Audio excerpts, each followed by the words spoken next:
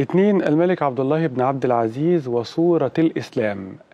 أي إنسان مخلص غيور على الإسلام الحنيف تأثر كثيرا لمحاولات الاختطاف لهذا الدين العظيم والإساءة لصورة الإسلام شرقا وغربا.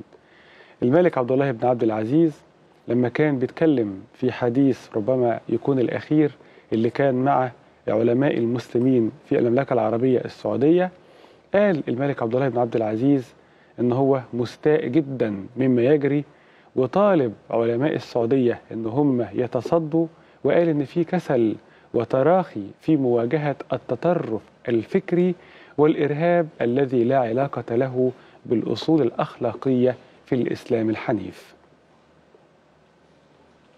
أنا قلت هالكلمه لأعبر عنكم جميعا وعن الشعب السعودي وعن الشعوب العربية والإسلامية الصحيح. وأنا واحد منكم وفرد منكم. ولا تحسبوني اللي قاعد فيه ذا. لو والله لا يقدر بيصير شيء أولهم أنا. هذا يعني على ما هو.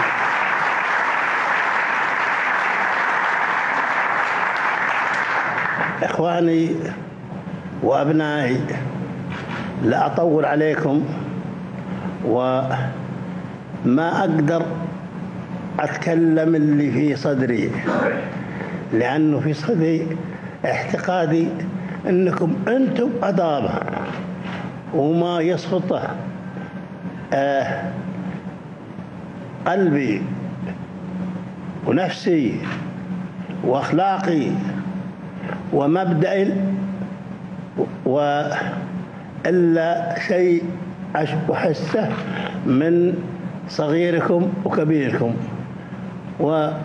ومشايخكم هذا لهم يعني يسمعون كلهم وأطلب منهم أنهم يطردوا الكسل عنهم.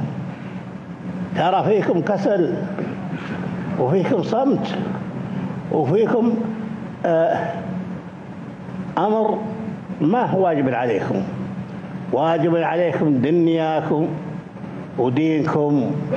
دينكم دينكم وربكم فوق كل شيء. ومع السلامة.